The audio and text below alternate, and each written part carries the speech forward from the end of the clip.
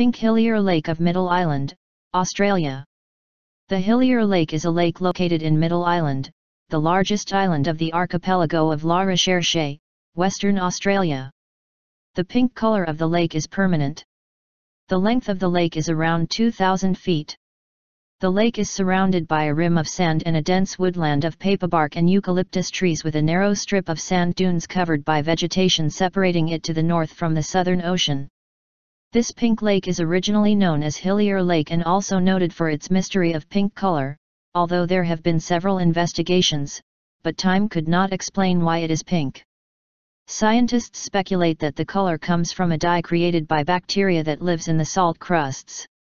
Middle Island's Pink Lake dates back to the journals of explorer Matthew Flinders in 1802. Flinders had climbed Middle Island's highest peak, now known as Flinders Peak, to survey the surrounding waters when he came across the remarkable lake. Middle Island and its Pink Lake are located in a pristine wilderness. The only way to view this lake is from the air. You can also explore the islands and abundant wildlife of the Recherche archipelago on a cruise from Esperance.